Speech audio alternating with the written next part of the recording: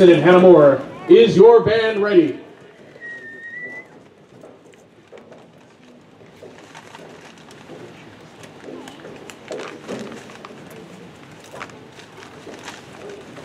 The field is yours for competition.